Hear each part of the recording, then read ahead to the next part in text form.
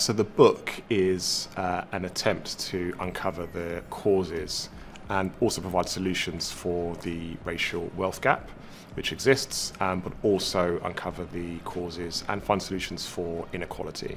So rather than thinking about this from a purely social perspective, what the book attempts to do is think about this from an economic perspective uh, as well.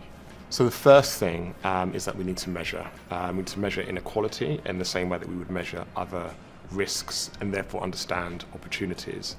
But there are also individual things that we can do as well. So people can take responsibility for this themselves. That might be thinking about how they might help community groups or how their businesses actually employ or work with diverse suppliers or vendors, for example.